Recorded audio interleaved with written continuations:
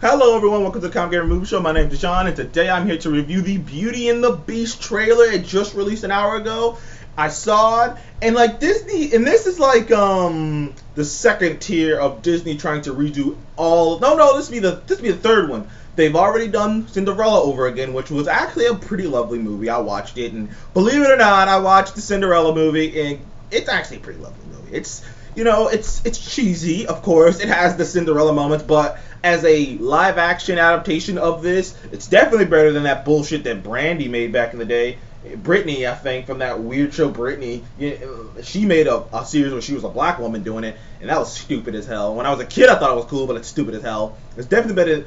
I'd say that Cinderella is definitely better than any other live action one. It's got an 83% on Rotten Tomatoes, so obviously other people liked it too.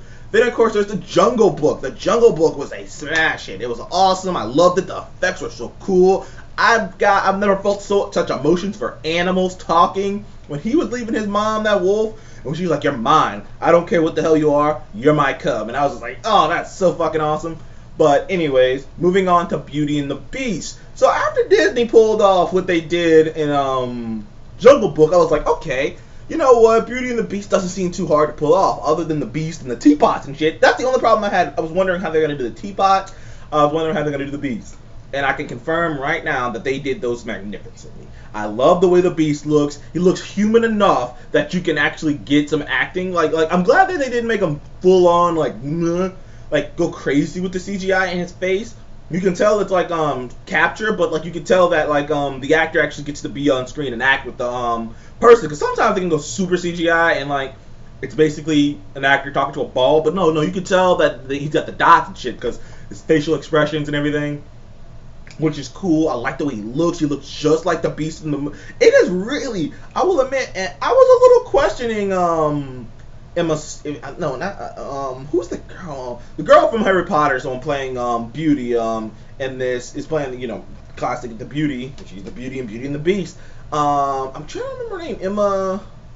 Is it Emma? No, it's not Hermione Granger. That's her name. And um, I can't remember her name right now. It'll come to me. It'll come back to me when, when I do when um me when I review when I um ask Seth and Mark what he thinks about it. But like, I love the way she looks. I was questioning her, but like the more like I compare like the picture, because like I like while I was watching, I literally took my phone out because I was watching on my tablet and looked at you know the original Beauty and the Beast pictures. I'm like, they look spot on. She looks just like the Beauty from Beauty and the Beast. She looks just like her. And then they they they redo some iconic shots, especially the shot of her in that yellow dress dancing with him in the ballroom. That is so iconic. There's gonna be a lot of singing in this. I can already tell. Like there's they've already seen some some scenes of singing, and they've shown some scenes of like um like like I'm pretty sure they're gonna some music gonna play in that ballroom. It's like Beauty and the Beast. I mean, who doesn't know that fucking song? And um, I think like like I said, nothing about this trailer was shocking or like revolutionary or anything. Like was shocking, but I will admit I like the way the teapots look. I like the way the teapot.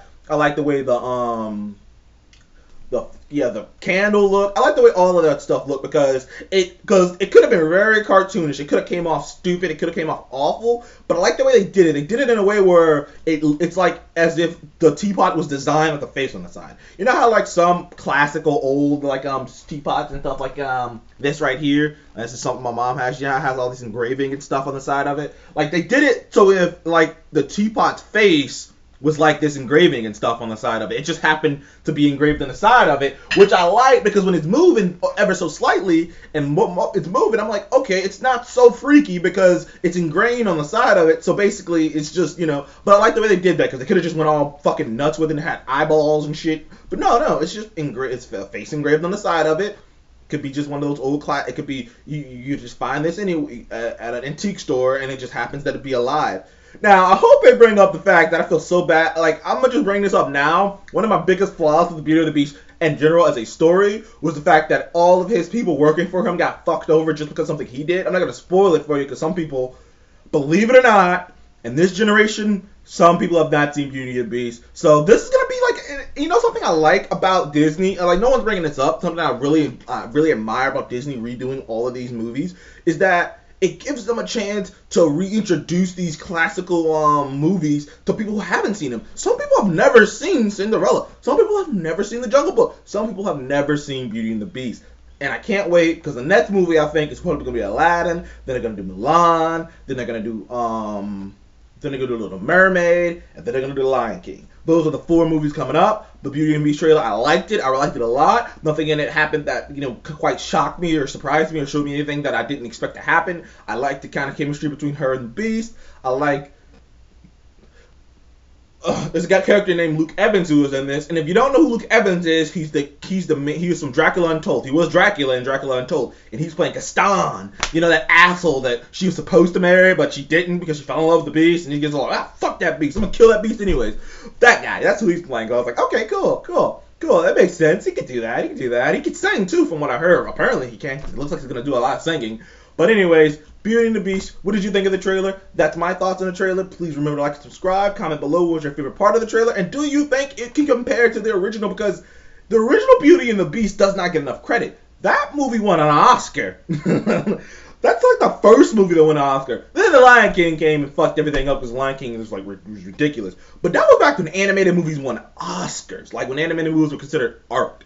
Nowadays, animated movies aren't, you know.